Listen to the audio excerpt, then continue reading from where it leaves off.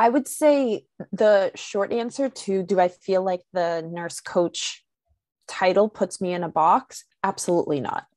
I feel like having that added to my credentials opened things up for me in such a vast amount of ways because I see other nurse coaches. You know, when I completed my certification back in 2020, there's nurse coaches doing such a variety of things. So many of them are in private practice, and so many of them are actually still in the traditional field, mm. but they're they've created nurse coaching roles to support nurses in leadership, to support patients.